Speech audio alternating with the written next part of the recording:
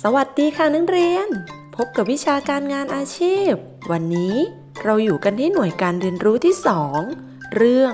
เสื้อผ้าและเครื่องแต่งกาย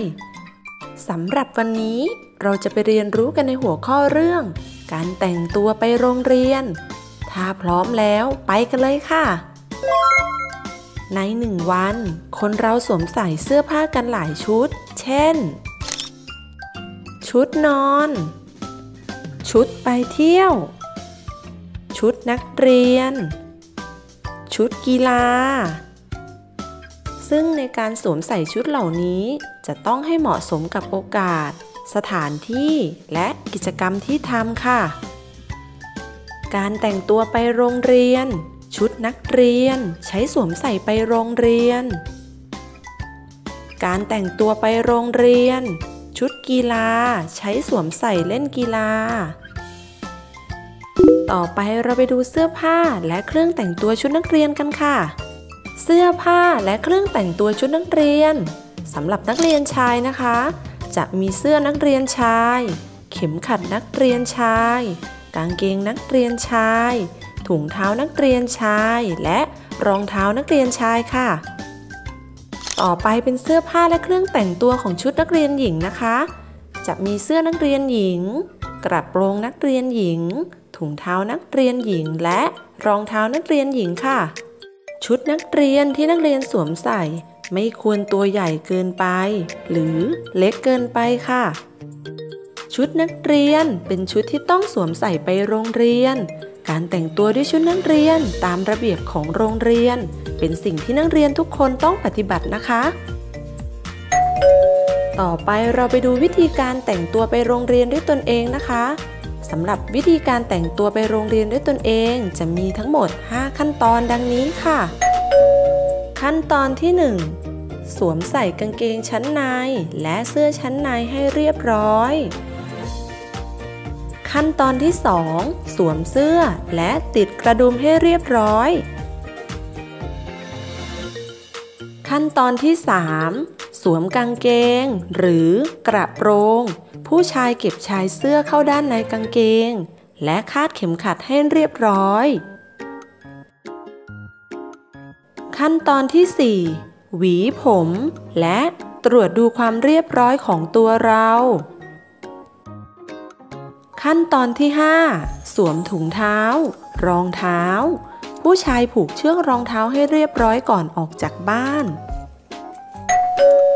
ประโยชน์ของการแต่งตัวไปโรงเรียนด้วยตนเองสำหรับประโยชน์ของการแต่งตัวไปโรงเรียนด้วยตนเองมีดังนี้ค่ะ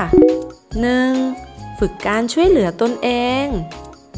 2. แบ่งเบาภาระของพ่อแม่หรือผู้ปกครอง 3. เกิดความภาคภูมิใจในตนเอง และ 4. ผู้พบเห็นชื่นชม เพราะแต่งกายได้ถูกต้องตามกฎระเบียบของโรงเรียนค่ะ สรุปความรู้ การแต่งตัวไปโรงเรียนด้วยชุดนักเรียนตามระเบียบของโรงเรียน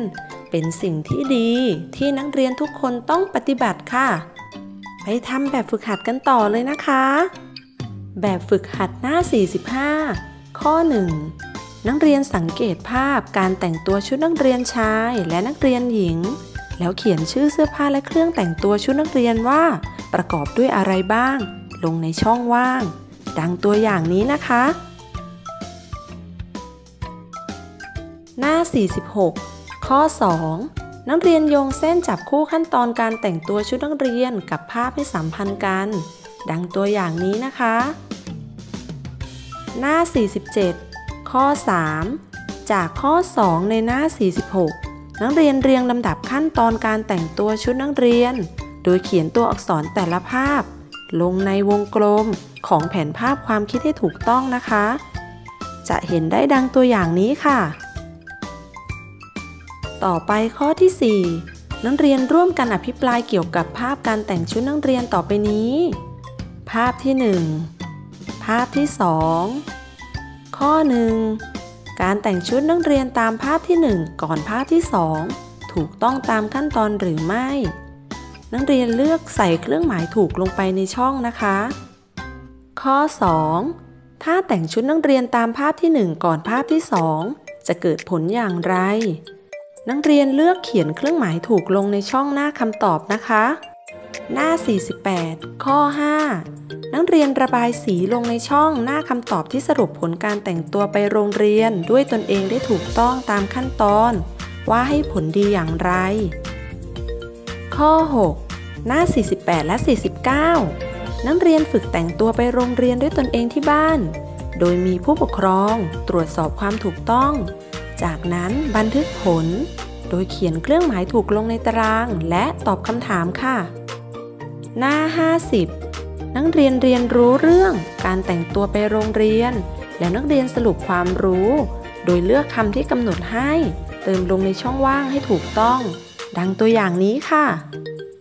ทำแบบฝึกหัดเสร็จแล้ว อย่าลืมทบทวนเนื้อหาความรู้กันด้วยนะคะสำหรับวันนี้ สวัสดีค่ะ